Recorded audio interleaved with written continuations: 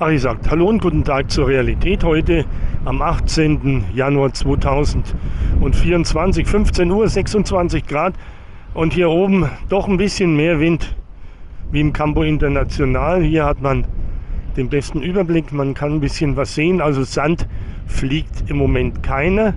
Das ist auch wegen der Windrichtung, denn der Wind kommt jetzt von vorne. Wir haben bis morgen eigentlich noch diesen Südwind. Und ab morgen soll es laut Wetter-App dann wieder der Wind jetzt aus dem Norden kommen. So ist das vorhergesagt. Und eigentlich hat man für heute auch ein bisschen Regen gesagt, angesagt. Aber das ist für die Kanaren generell allgemein und es wird mit Sicherheit an der einen oder anderen Stelle dann auch regnen. So, also kein Sand, Fliegen ähm, an den Dünen, da kann man dann einigermaßen gut laufen. Und jetzt schauen wir uns das andere Wettergeschehen hier an. Hier hängen doch die Wolken ziemlich tief, mehr oder weniger hell, bis, ja, ihr seht selber. Doch kräftiger Wind an der Palme sieht man es da So, und da es morgen ja wieder an den Faro am Leuchtturm geht, dann heute hier. Dazu sei noch zu erwähnen, heute Morgen gab es ja ein schönes Erklärungsvideo San Bartolomé und die Strände von der Antje. Der Plan B, ein Teil, damit ihr seht, wie das aussieht, kann jeder sich selber speichern, runterladen oder ausdrucken. Und ja, auf dem 360-Grad-Kanal, da gibt es oder gab es heute ein Video von der Wasserseite, den Strand aufgenommen. Ganz interessant. So, und wir fahren jetzt hier erstmal Richtung Playa de Ingles. Sita. Schauen, ob ein paar Kiter unterwegs sind. Beim Santa Monica, da ist es immer interessant. Der Wind müsste ja heute eigentlich ausreichend sein.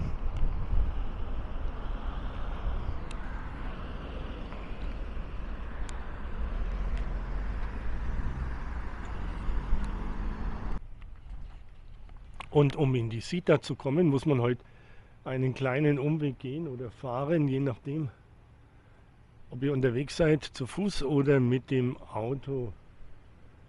Ja, ich habe hier geparkt und jetzt geht's zu Fuß. Denn das hat seinen Grund, nicht, dass die Sita gesperrt ist. Nein, es ist ganz einfach. Teerarbeiten, Straßenrenovierungen sind angesagt. Und hinter mir ist die Kairoma und da gehen wir nachher nochmal hin.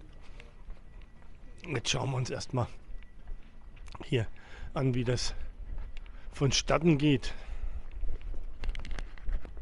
Ja, und diesen Gummibaum hier, das ist ein, ein Wunder der Natur. Schaut euch das an, wie schön.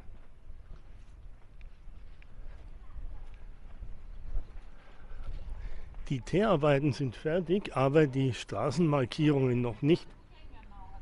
Da sind sie gerade dran. Also so eine Ruhe hier auf der Straße gibt es selten. Im Moment hier kein Durchgangsverkehr. Auch vorne nicht, am Kreisel nicht. Da wird und rechts auch bis zum Rey Carlos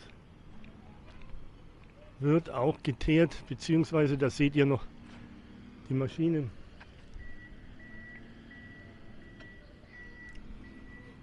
Und es riecht nach Asphalt. Ist ja kein Teer, ne? Das ist ja irgendwas anderes. Da gab es beim letzten Jahr einen Kritikpunkt, da ich gesagt habe, Straße wird geteert.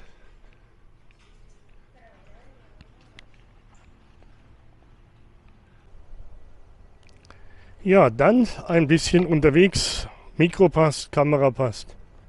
Dann geht es langsam hier eine der bekanntesten Straßen, Calle Roma. Hier gibt es schöne Apartments und wunderschöne Häuser. Club Canario hier auf der linken Seite.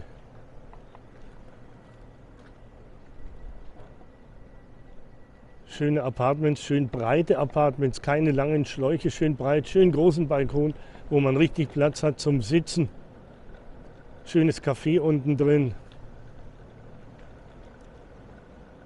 Hier auf der anderen Seite ist Paraguay.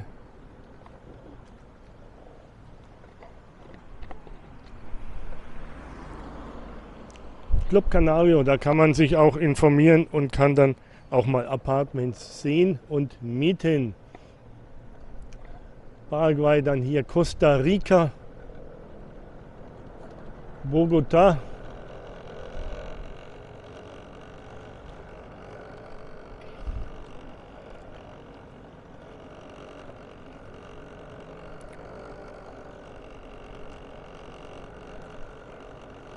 Auch hier frisch geteert. Das ist schon mal richtig gut. Alco Iris 4 haben wir hier, da ist der Dreier.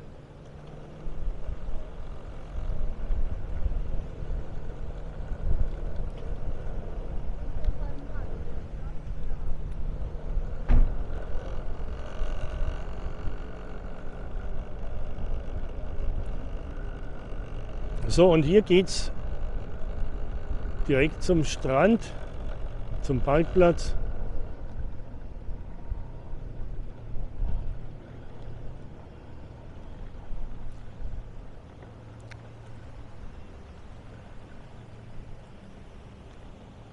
Eigentlich wollte ich ja dahin fahren, das geht aber nicht wegen der Teerungsarbeiten.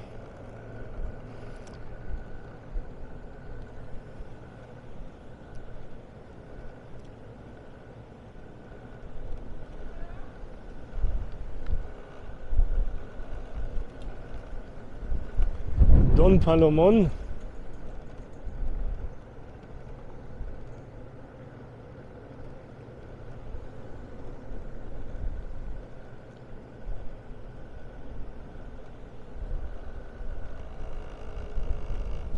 Ja, soweit ich das beurteilen kann, haben die gute Arbeit geleistet hier.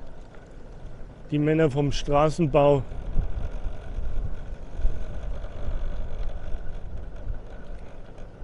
Und wir sind die Ersten, die hier fahren.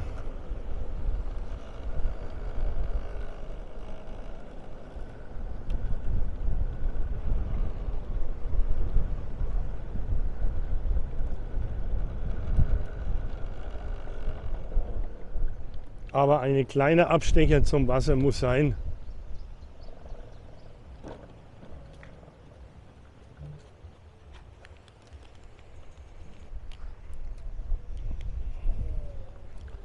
Ja, ganz schön viel Wind hier, doch, das ist nicht sehr angenehm. Und das mit den Regenwolken oder dem Regen kann man sich gut vorstellen, dass es doch an der einen oder anderen Stelle schon regnet.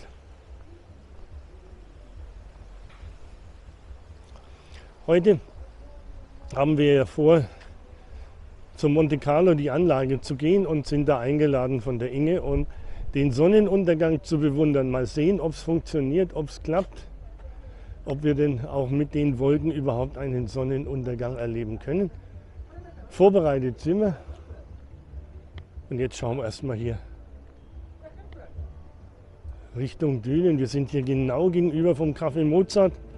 Und da ist schon wieder Tanzstimmung, gute Laune, Musik.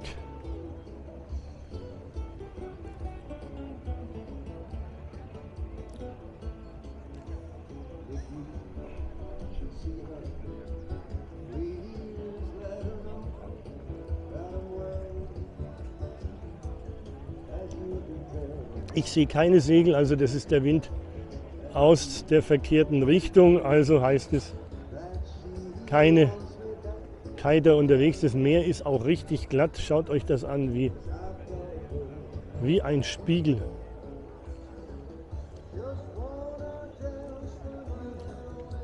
Ja, und jetzt hier der Blick über die Dünen.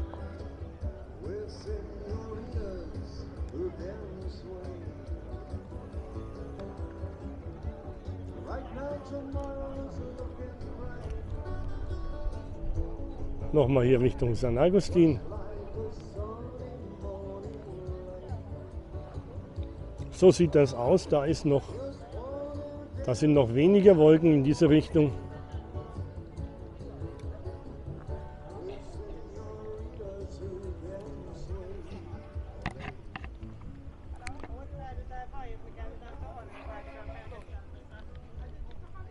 Ja, wir sind hier an der Calle Milan.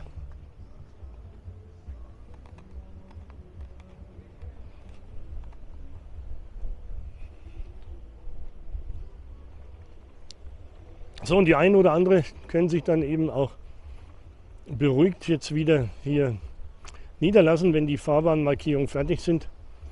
Dann kann man auch wieder alle Zufahrten nutzen, aber es wird in den nächsten Tagen an einigen Stellen immer noch zu Verzögerungen kommen.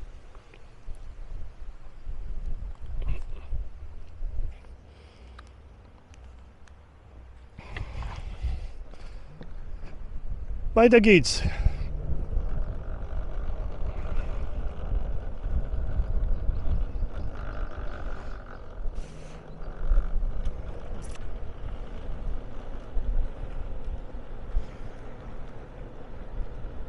Atlantic Sun Beach.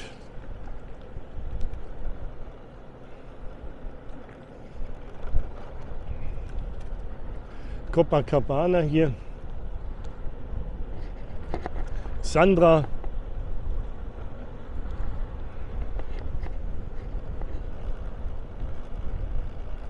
Ecuador.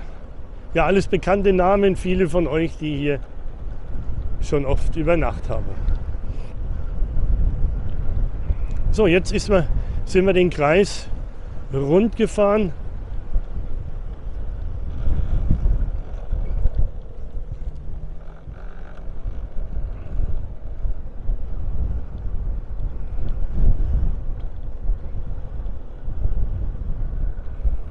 Und hier ist Ende. Also ihr seht, hier sind die Fahrbahnmarkierungen im vollen Gange. Hier riecht es auch nach Farbe.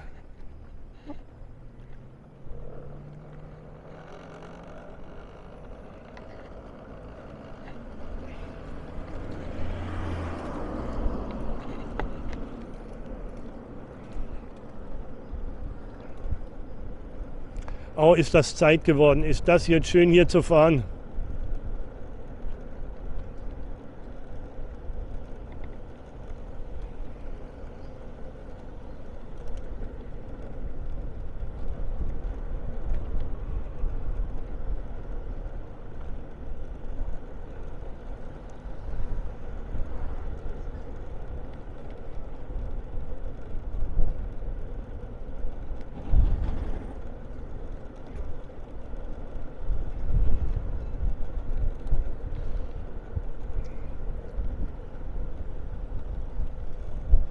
So, hier ist Schluss mit dem neuen Asphalt. Hier ist das alte wieder.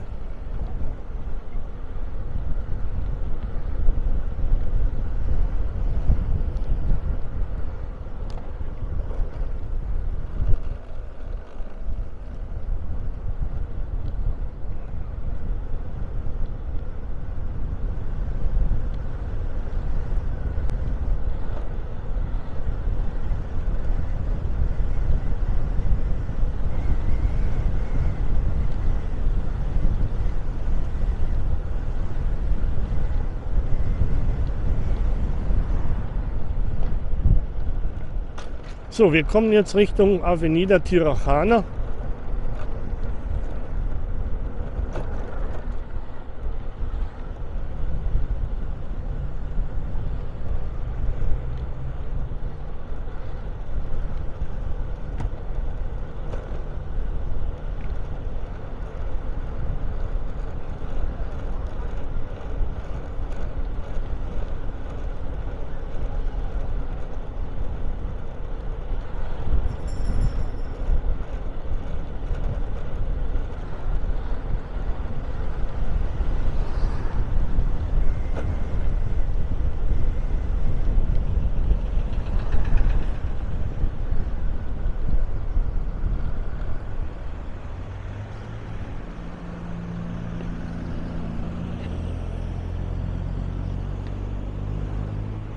Ja, hier ist dementsprechend mehr los, weil der Verkehr umgeleitet wird.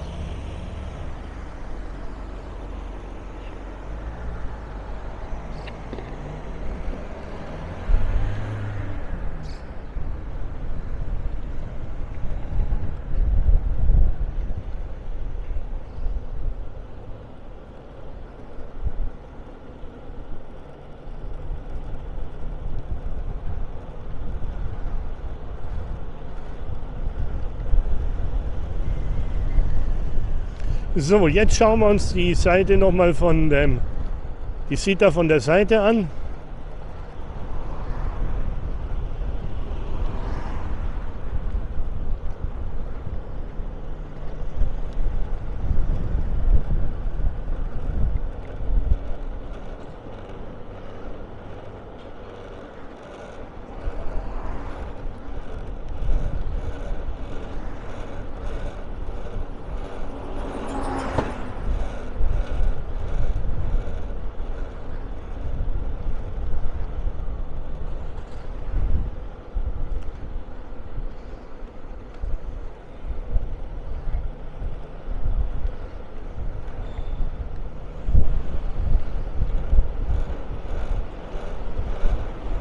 So, der 39er hier kommt mir gerade entgegen, der fährt zum Faro de Maspalomas, nicht zum Shopping Center, sondern zum Leuchtturm.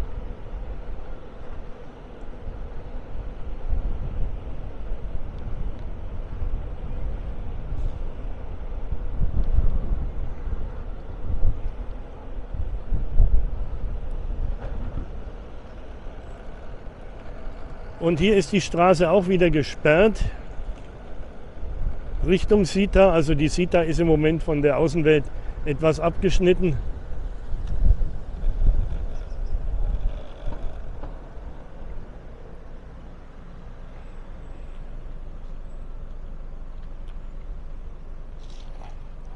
Auch wenn man möchte, hier geht es nicht weiter.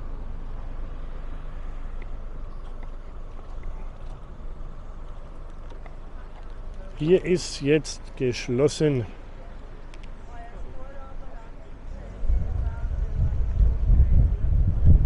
Sieht's aus. Und nun fällt das Schild, nun fallen die Schilder. Der Wind, so weiter geht's. Und nun noch ein paar Meter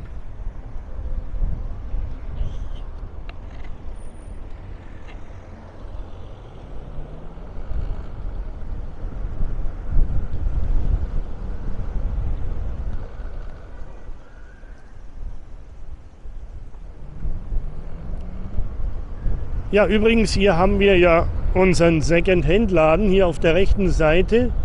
Da ist jetzt die Autovermietung dazugekommen. Und zwar haben wir hier einen großen Laden. Sandtours, Topcar und unser Second-Hand-Laden. Drei Geschäfte in dem Haus.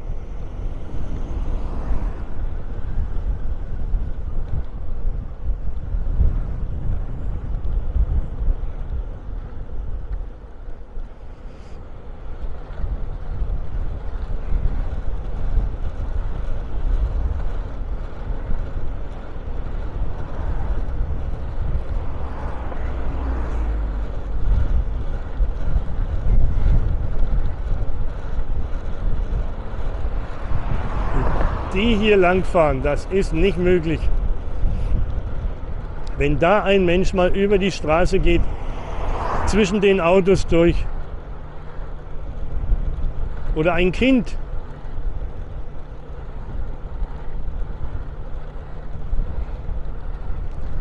Ich fahre jetzt 30 Stundenkilometer. Das, was hier erlaubt ist, der ist mindestens 60 hier gefahren.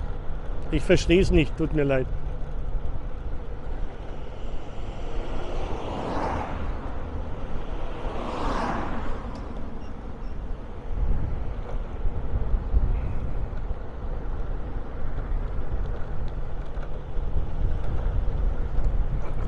So, und dann kommen wir wieder zum Anfang, nämlich gleich sind wir an unserem Aussichtspunkt wieder.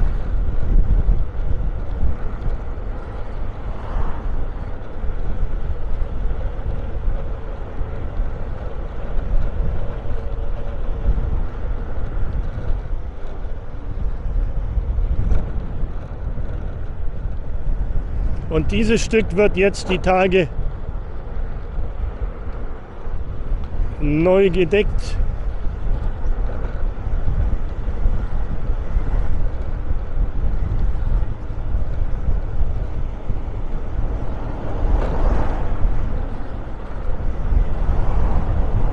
Also hier aufpassen mit dem Parken.